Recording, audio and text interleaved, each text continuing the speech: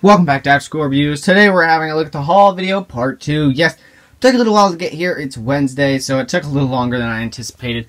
But we have the RoboCop versus the Terminator, and I think these are actually arranged the wrong way. Are these? Yes, these are actually arranged the wrong way, so I will move these around. Okay, I didn't realize that. Oopsie doopsie, but that's due to the backs on these. I thought they go the other way. I think I did, yeah.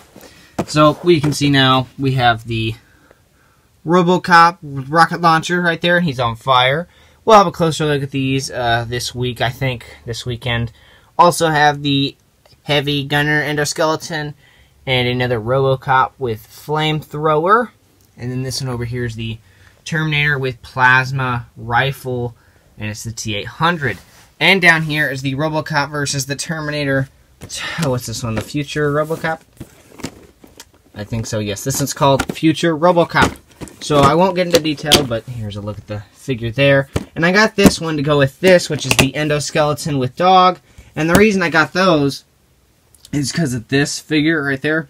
And the reason I got all this is technically because of this figure and because I like Terminator. But I already had this video game one, so I can kind of display that with there with them too as well.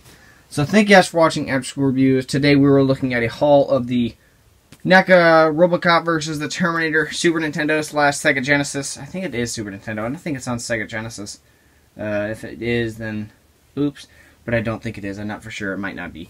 But that's what we were looking at today. So thank you guys for watching. Do not for like. Do not forget to like, comment, and subscribe. Also hit that bell icon for when I go live. If I go live and when I do weekend uploads.